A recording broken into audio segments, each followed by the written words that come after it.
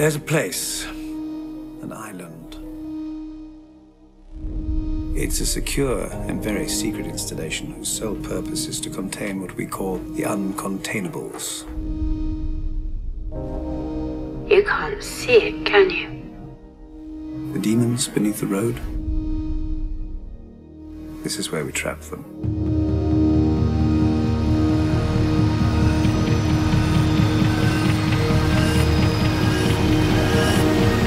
It's okay if you cry. I can help you cry. We can now confirm at least five people are dead, 12 people have been injured. This ah. incident is related This to is going to be such a good day. Welcome, gentlemen, to Aperture Science. Astronauts, war heroes, Olympians, you're here because we want the best, and you are it. I'm Cave Johnson, CEO of Aperture Science.